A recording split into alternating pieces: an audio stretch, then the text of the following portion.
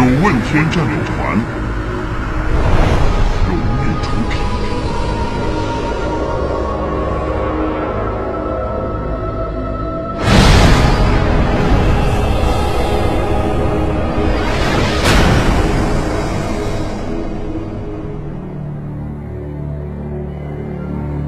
大家都知道，自从部落和联盟并肩作战，共同抵抗燃烧军团的入侵，已经过去了许多年。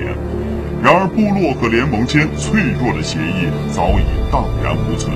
从那天开始，没有人会认为联盟与部落会再次结盟。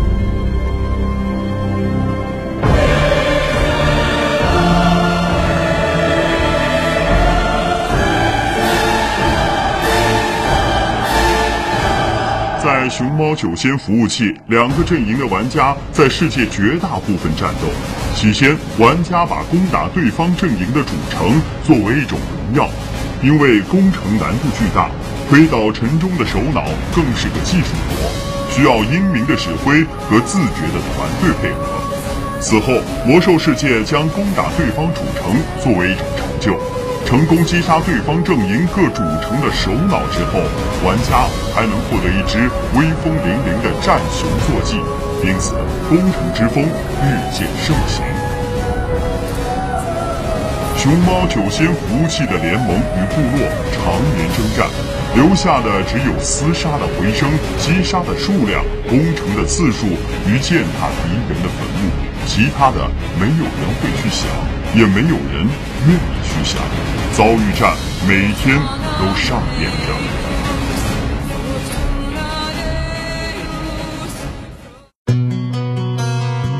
然而，在二零一一年的七月十一号晚上，联盟与部落之间邪恶的预言被打破了。在熊猫九仙服务器，真实的上演了一场部落与联盟的大结盟。这一刻，所有人都将联盟、部落、敌人等词汇删除了字典。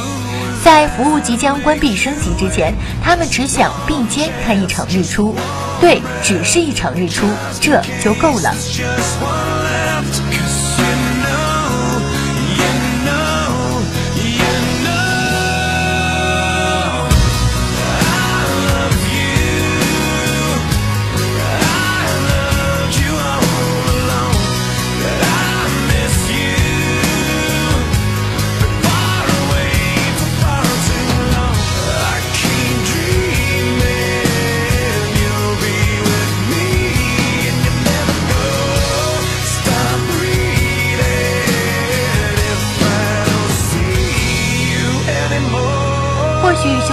前服务器的人们找到了一种与众不同的游戏方式。许多年后，当魔兽世界早已被人遗忘，你还会留下哪些珍贵的回忆？是会记得一起游戏的伙伴，还是会记得那些值得你尊敬的敌人呢？此片献给九仙服务器所有玩家。九问天战斗团荣誉出品。